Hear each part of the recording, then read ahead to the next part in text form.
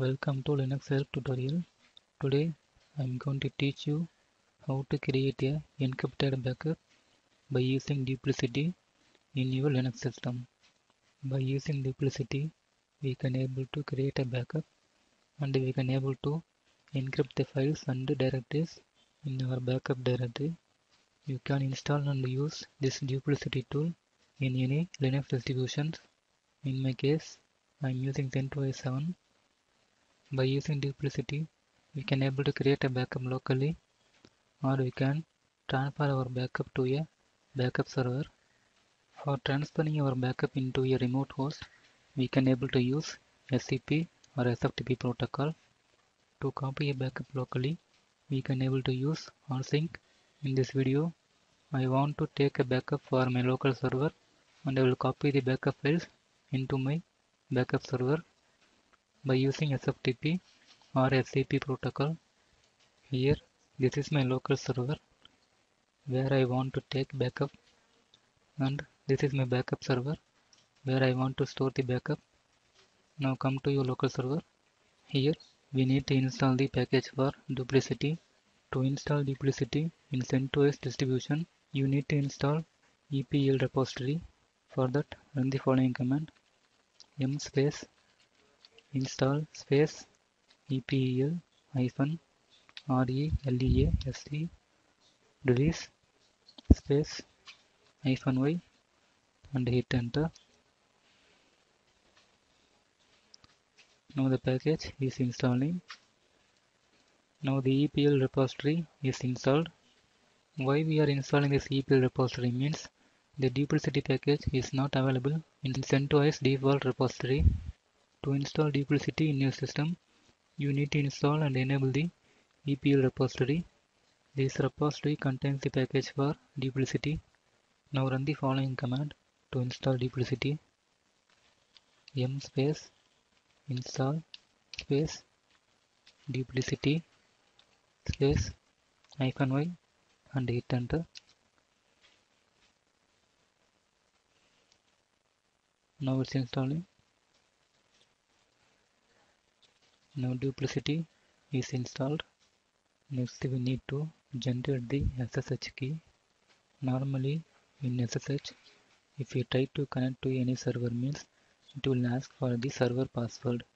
If you want to log into the server without using that password means you should generate the SSH key in your local machine and you should copy that key to your server and then the server will identify your system and this will not require any password for further authentication by using SSH.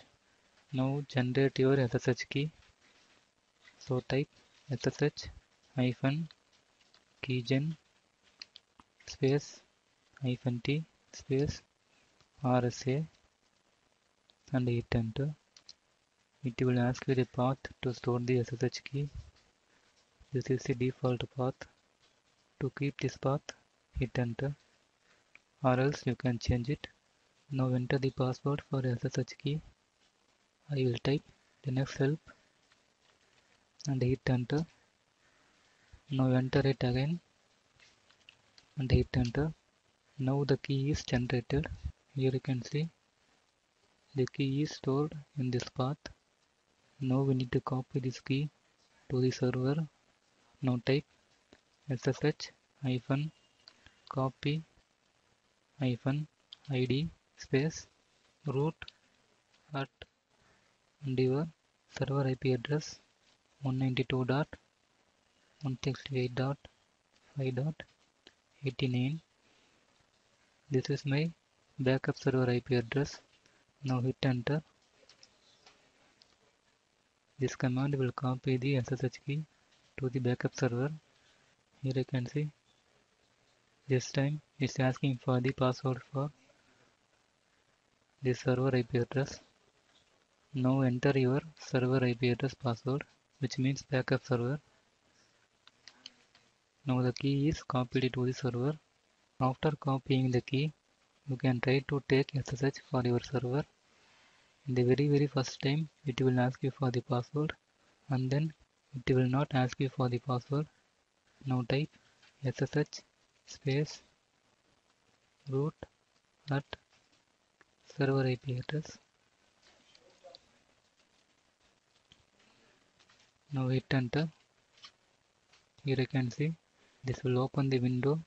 Now here we need to enter the private key password that we have entered for generating the key. I have entered Linux help. So I will type Linux help and click unlock. Now you are logged into the server. You can check type ifconfig. Here you can see this is the IP address for this backup server. Now press Ctrl D quit. Here check ifconfig.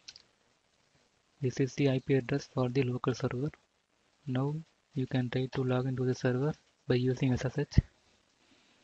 SSH space root at server IP address.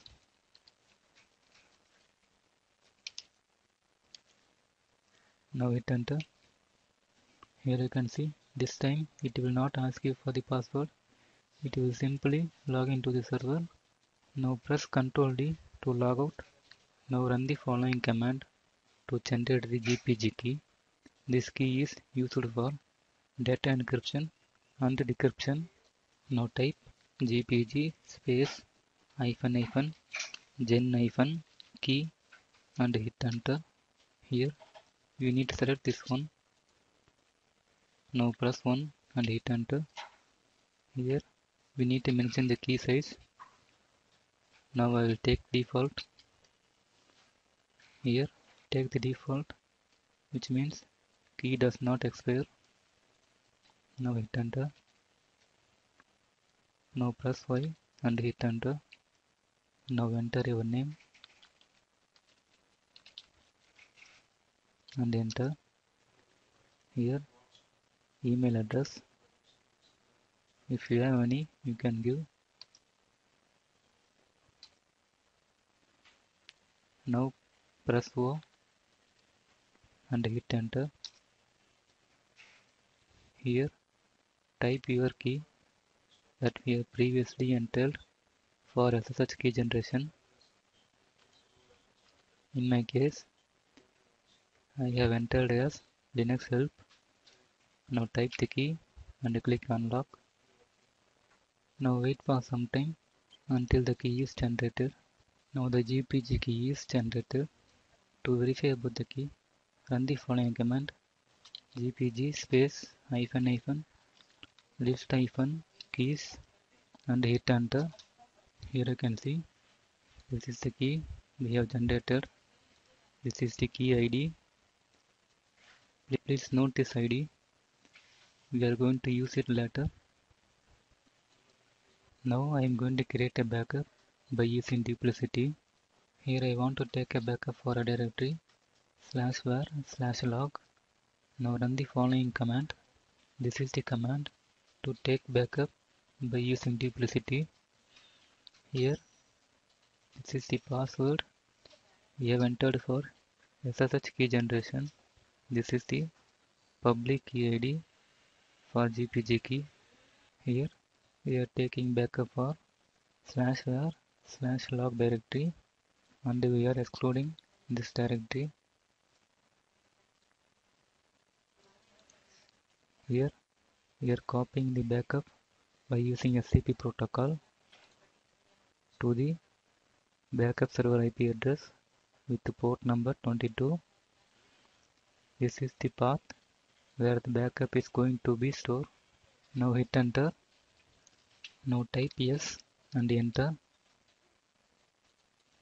Here you can see the backup is created on the backup server. Now let's verify. Go to the backup server. Here type ls space slash local backup slash files and hit enter. Here you can see this is the backup data is created by using duplicity and it is encrypted by using GPG key. Here you can see.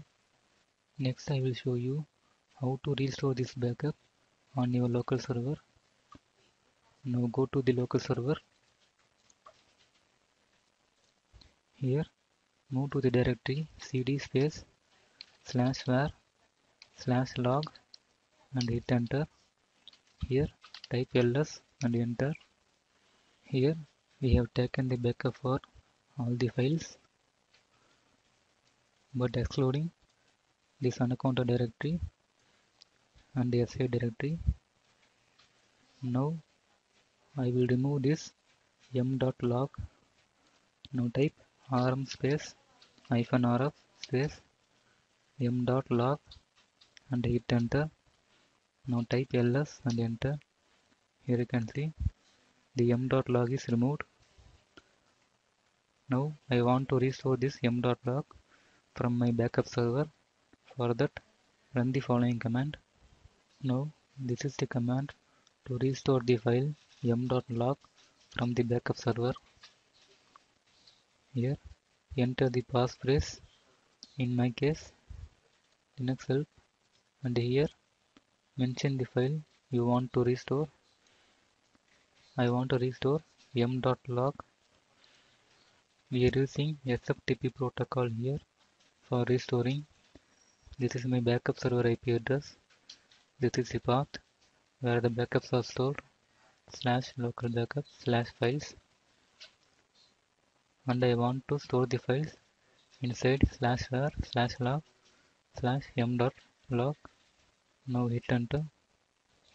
Here I can see now the file is restored. Now type ls and enter. Here I can see we have restored this yum.log file. By the same way, we can able to restore any files after taking the backup. So today you have learned how to take backup and encrypt the backup by using duplicity and how to restore it to your local server.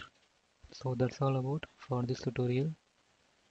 Hope this tutorial is helpful for you. Thank you for watching.